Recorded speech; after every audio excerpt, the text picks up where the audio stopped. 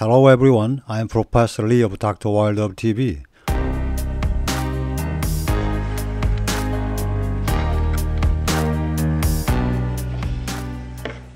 Reishi mushroom is one year old mushroom grows on broad-leaf trees in the summer. It has the most reliable clinical effects among medicinal mushrooms. There are too many important effects, so I'll summarize them later. The harvesting season is from summer to fall, and these days are the best time. What now is one harvested and dried last fall. It's good because it's large, white, and golden inside. Does it look like that? When storing, it's best to cut it into small pieces, lightly steam it in a steamer, and dry it. However, this one is clean, so I put it in an onion net and dried it in a cool place. It's still very good even after a year. However, there are spots, it may be contaminated or spoiled, so I should cut it into small pieces and remove it. It's hard because it's cork texture and the flesh is in a very good condition. Now I'm gonna cut it into pieces and make reishi mushroom tea, but before that we need to start the clinical effects, right? Looking at the main active ingredient, 1. Like other mushrooms, it contains beta-glucan among polysaccharides and 2. ganoderic acid, which have various functions such as immune regulations and anti-cancer, and this is the ingredient that gives the reishi mushrooms their characteristic bitter taste. Let me tell you about the clinical effects of reishi mushrooms. In traditional Asian medicine, it's used for immune activation, longevity, physical weakness, fatigue, decreased appetite, lung function weakness such as silicosis, chronic asthma, anxiety, insomnia, coronary arterial sclerosis, rhinitis, and chronic hepatitis. It's recorded in the American Herbal Dictionary as an immune boosting herb. In modern medicine, there are more than 40 controlled clinical studies. Let me explain about the anti-cancer and immune-enhancing effects of reishi mushrooms. 1. When taken with conjunction with anti-cancer treatment, taken for 1 to 3 months, increased anti-cancer effect, decreased mortality rate of cancer patient, improves side effects of leukocyte reduction caused by anti-cancer drugs. 2. Increased activity of NK cells and T cells in terminal cancer patient. 3 reduced size of adenoma in colorectal adenoma patient. 4. 88% of patients with positive oral human papilloma virus were converted to negative. 5. Reduced prevalence of cold and flu.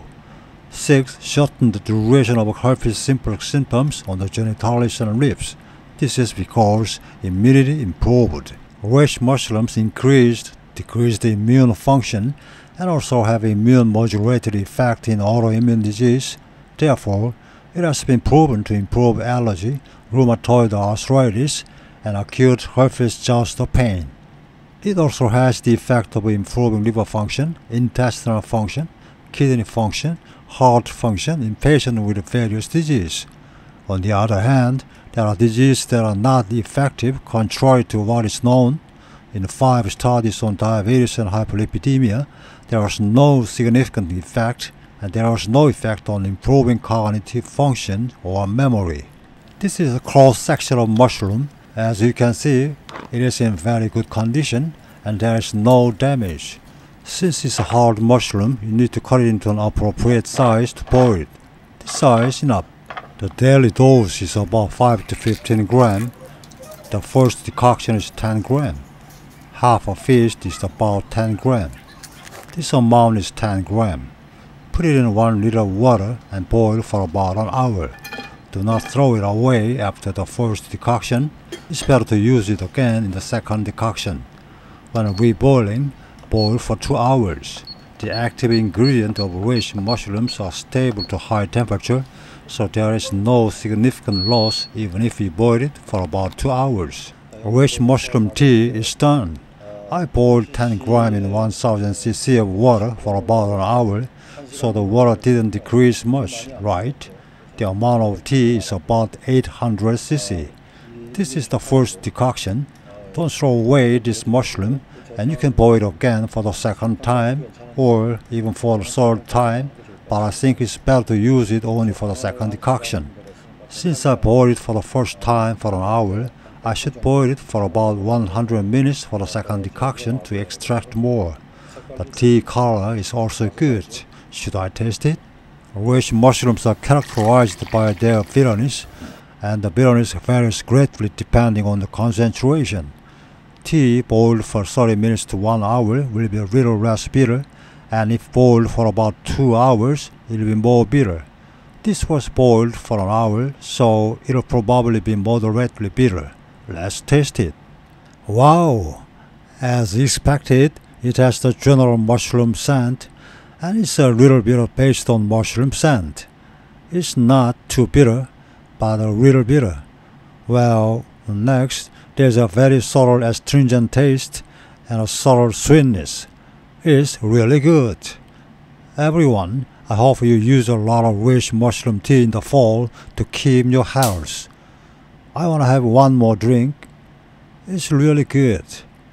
Oh, I should drink it often. You should know the side effects. 1. Allergy. Stop taking it first, and if severe, visit the hospital. Especially those allergic to mushrooms should be careful. 2. Stomach problems such as nausea or insomnia.